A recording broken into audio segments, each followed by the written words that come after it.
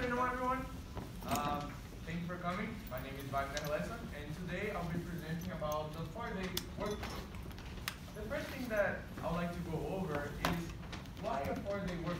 And we discussed this in previous classes. We heard about it throughout the whole semester. But the first question I'd like to ask you all is, who would want a four-day work week? I was wondering, No, I. Yeah. I'm you don't want a four-day I- I work week? Why would you want a four-day work week? Um, I feel like I will be more productive. Okay. And have more days to, um, relax, be more prepared. You say that when you have more days to do your own things and take care of your well-being, your mental healthness, and also all those factors that came along arising with COVID, having a four-day work week, you'll be more productive and be able to take care with this balance between your life and also your work. Yes, because I feel like on the fifth day, I'm just waiting for this paycheck. Makes sense. Now, I'm just looking at this at like two ways. Cause like a four day work week, that means you, instead of like maybe six hours on in the five day, maybe you work eight hours.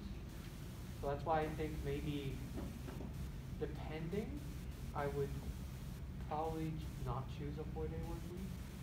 when you say that you were more concerned regarding, let's say, if you work ten hours from Monday to Thursday and then you don't have a Friday, for instance, or you're thinking about also, let's say, you work six hours from Monday to Friday, would that be something that interests more focus on the hours instead of the four days itself? Yeah, because I feel like it depends on the people. Okay. Because like some people can go for like ten hours straight, or something like ten work for ten hours in a day, but then others can't do that. Okay. I feel like it depends. Makes sense. Uh, do we have anyone in Zoom? Uh, Eli, remember you uh, raised your hand? Yeah, um, I was just gonna say like, ever since I got to Hult, I was given like four day work, work weeks because we don't have classes on Friday. Okay. So ever since then, I've like kept it, um, to that and it's honestly really helpful because I'm able to keep my, uh, schoolwork within like the four days and then do whatever I want for the other three days and it, like, I have full, like, I have the full day Friday to do as much work as I wanna do. It's Awesome. like- Awesome. This does relate a lot to what we have been seeing and also the research that I'm going to talk about a little bit later on the presentation. Uh, I see that Felix has a point in Zoom. Uh, you can unmute, uh, unmute and say it. Hi, um, um, so I was wondering, so how would you set it up? Would you set it up that every person works from Monday to Thursday or from Tuesday to Friday, or that people can choose the four days in which they would work? Because I think that would make a big difference, right? For them to schedule meetings and, um, or like updates or any, like that would kind of make it hard, right? If people have different weeks. Awesome. Uh, thank you for the point. It does make sense to have that concern, and this would vary from uh, company to company. We do have some companies that have already proven to have successful results, and it really depends on how they schedule and even the industry that they work. For instance, if we're talking about the financial industry, we have the market open hours, and we also have on the health industry, which you have demand for, let's say, a 24/7 service that you would have to attend those hours. So it really depend on industry to industry. But oh, uh, one you have a point? Oh, yeah, no. Yeah. No, no, you're wrong. Because I, I just want to ask, like, is it like different, um, what, what type of, uh, companies that you just answered? Because some, some companies, they have, uh, intense emo- working environment, so maybe they're like longer. and Yeah, yeah, no, Or, no, or four days, makes sense. four days are not enough for them. Yeah, makes sense. Makes sense. Thank you. So, following to what we discussed right now, and thank you for the points. I would like to dive into the academic research I was able to find. And the first thing I would like to mention is a study did by a company called Autonomy and also the research institution Alda. This is back in Iceland. And they did a study in Iceland with uh, 2,500 workers on the workforce. And this is over 1% of the total workforce in Iceland, which is huge and represents a good amount of their working population when it comes to a large study. And they discovered a overwhelming success with the people that implemented this four-day work week. What they did is that throughout 2017 to 2019 in this study, they had the working population that was selected for the study to have a reduction on the hours per week worked from 40 hours a week, the normal standard that we are all used to it, to 34 to 35. And the results from that was that everyone, mostly in the research, they proposed and also showed an increase in productivity, well-being, and also in less burnout throughout the week. So we had really positive results in Iceland. Following to that, 86% of the population, after the study was done, in the working population, adopt the four-day week in Iceland. So it showed to be a good result and a successful experiment.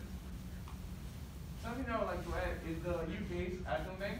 So in the private uh, sector of the industry, we have UK's Atom Bank, Unilever Zealand, and Microsoft Japan that also adopt the four-day work week and had stunning results.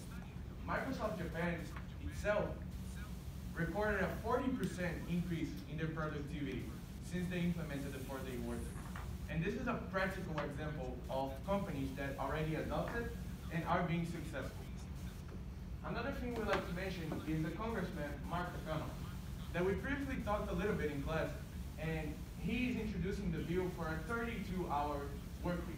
And as your point one, uh, related, it doesn't necessarily uh, have to do with the four established days, but with the hours.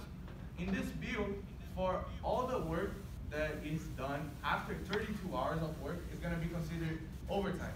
So the threshold is not going to be 40 hours as it is right now. It would turn to 32 hours. And 32 hours can be seen as four days a week, for instance, Monday through Thursday. And this will make employer, uh, employees and the people in the workforce to be able to have their work throughout the week and also be more productive, have less of a burnout, and be able to balance their work balance with their life balance. Following to that, it's important to mention that a study done by Gallup uh, concluded that employees with a four-day work week rate their lives overall uh, better. And I would like to mention uh, and show you guys this graph and walk through a little bit. We have the engagement and well-being and burnout by number of days worked. And in this study conducted by Gallup among the US employees who work 34, 35 hours per week or more, shows that, as we see on the right-hand side, the typical worker for four days, five days, and six days, and then we have the questionnaires for engaged, actively disengaged, thriving well-being, and few burnout often always. As you can see, the engaged percentage is similar when it comes for the four days, five days, and six days. However, you can see that the four days is on top. When it comes for the actively disengaged, this is the main argument against the proposal of the four-day work week. Because it has been shown that the workers in the four-day uh, work week are more actively disengaged than the workers in the five-day work week or six-day work week. However, the goal of this strategy comes into the thriving well-being. As you see a difference of 63% to a 57 and a 56% to the workers compared from the four-day work week to the five and the fifth. And then the feeling of burnout, as Beatrice mentioned before, and also is confirmed by the study, the workers that worked on four days to five days and six days, we can see that the workers on four days are less of a burnout, and they're able to be more productive throughout their whole week. Following to this, let's go over the potential risks. And we can see that shorter work weeks show a higher percentage of disengaged employees, as we just seen in the study. However, when it comes to employees of household problems and retirees, they might find purpose, and stimulation, in social connection in work. It might be their purpose to be at work, or it might be their thing that makes them excited about the week. Because they're going to work, they're going to do something that they like to do. And to tackle that, we came up with make the fifth day an extra optional. As the bill that uh, is being introduced by Mark Takano in California, we would have after the 32 hours, so after the four days of the work week, we'll make it overtime. And for the ones that want to work more, they have the chance to. But for the overall population, they wouldn't need to go this extra work that is more of a consuming their week and making them be there at the workplace already burned out and not necessarily being productive to considering a better life balance and work balance.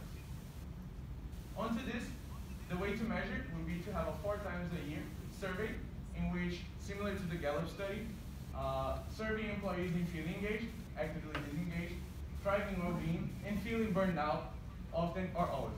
And we'll measure them and see the results just as Gallup did in their study.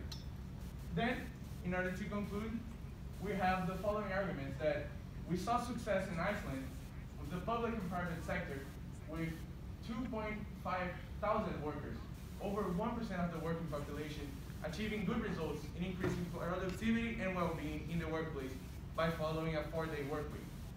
We also saw success in the private sector with Atom Bank on UK, Microsoft Japan, and Unilever in New Zealand showing good results and increasing their productivity and well-being following the four-day work week.